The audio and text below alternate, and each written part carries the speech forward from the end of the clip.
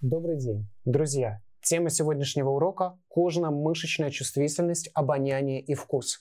Поговорим об этих анализаторах. Напоминаю также вам о том, что э, у любого анализатора есть три составные части. Это периферический его отдел, проводниковый отдел и центральный отдел или воспринимающий отдел. Периферический тот, тот, который получает раздражение из окружающей среды, специфическое раздражение.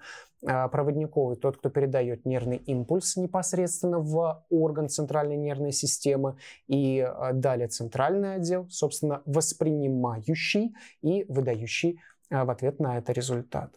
Что такое кожно-мышечная чувствительность? Это иначе говоря, осязание. Мы, коснувшись чего-либо, можем э, ответить себе на ряд вопросов. Мы можем сказать, какова температура объекта, до которого мы докоснулись.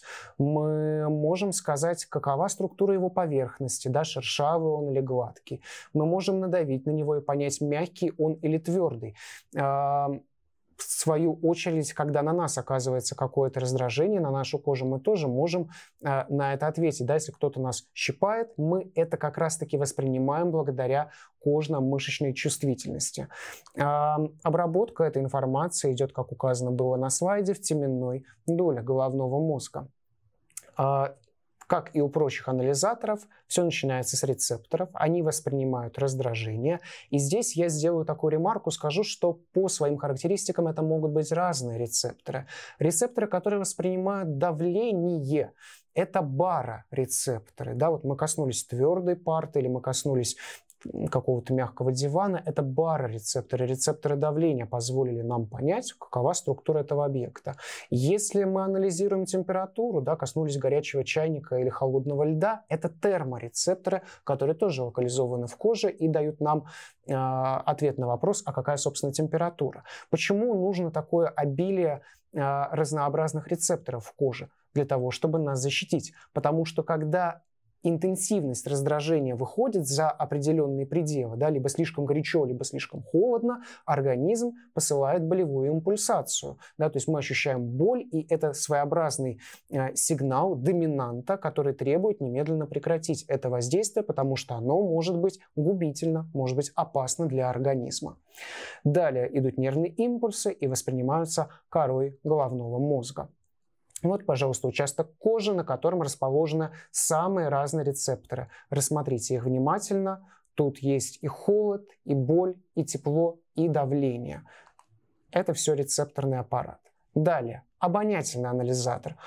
Очень сложно в период коронавируса, не могу не сказать об этом, а, жить без обонятельного анализатора. Да, многие люди испытали это в последний год на себе, когда э, они принимают пищу, однако не ощущают ни ее вкус, ни ее запах. И, э, конечно, э, в этой ситуации обонятельный анализатор становится незаменим. Э, зачем он нужен?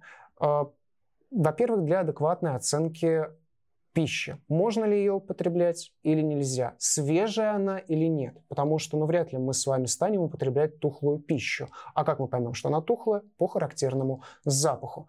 А, обонятельный анализатор, его рецепторы располагаются в верхних носовых ходах, а рецепторы, воспринимающие эти сигналы, посылают импульсы в обонятельные луковицы, а те уже непосредственно проводят эти сигналы в головной мозг.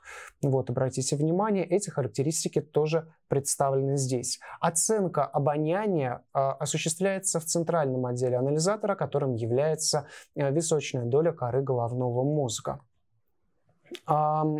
Так, это мы указали, это просто схематичное отображение последовательности восприятия.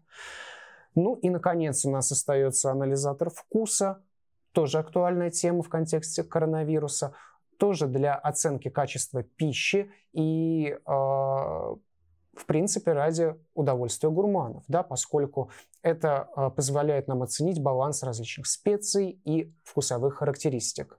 А какие же вкусы мы с вами можем распознать через эти э, рецепторы? Надо сказать, что рецепторы эти локализованы в различных частях языка. На схеме они сейчас отображены. Мы видим, что с помощью этих рецепторов мы воспринимаем горький, кислый, сладкий и соленый вкусы. Различный их баланс, адекватный баланс позволяет пищу э, назвать вкусной.